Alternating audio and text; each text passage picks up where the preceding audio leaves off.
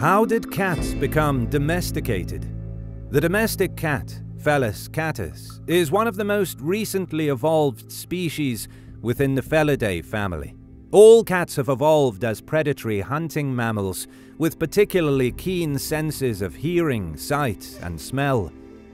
The widespread migration of ancestral cats was probably made easier by their natural behavior to disperse and seek their own territory, and also the need to follow the prey species they hunted on.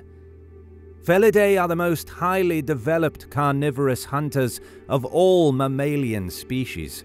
With the exception of lions, which live in groups, all other wild cats have developed as solitary animals with the ability to hunt and fend for themselves.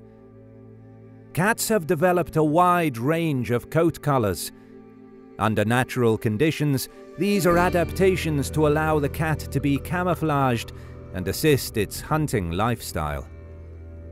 Evolution and adaptation of Felis catus.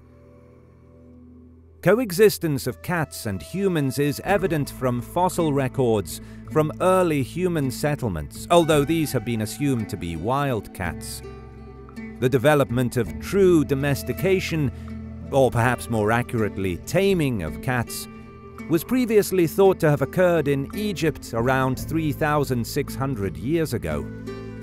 Skulls of cats found in Egyptian cat burial grounds, called Mau by the Egyptians, have been identified as mainly being of the species Felis silvestris lybica, the African wildcat. And it is this wildcat living in Asia and North Africa that is now thought to have been the major ancestor of the modern day Felis catus. However, more recent evidence shows that feline domestication probably occurred about 10,000 years ago or more in the Middle East, in the region of the Fertile Crescent.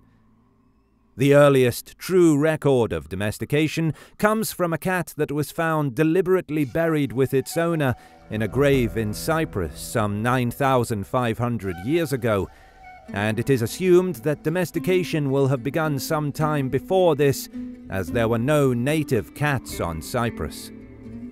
Genetic analysis has demonstrated that the DNA of modern day domestic cats throughout the world is almost identical to that of Felis silvestris lybica, clearly showing that it is this species that gave rise to our domestic cats. Domestication of the cat. Felis catus as a species has thus arisen through wild cats living closely with humans. However, this should not be regarded as domestication in the same way that dogs and other animals have been domesticated. In general, cats have not undergone major changes during domestication, and their form and behavior remain very similar to that of their wildcat ancestors. They remain perfectly capable of surviving in the wild, and indeed many revert to a feral or wild existence.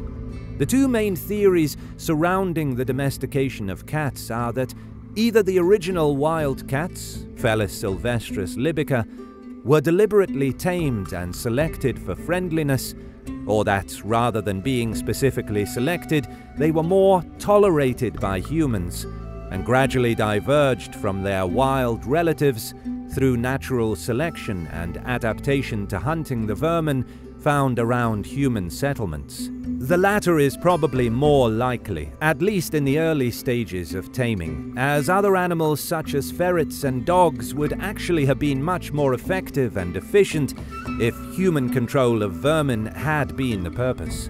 In either scenario, several traits of cats, including their small size, social nature, body language, love of play, high intelligence, and perhaps an inborn tendency among all small felids towards tameness, may have facilitated their domestication. That's all for today.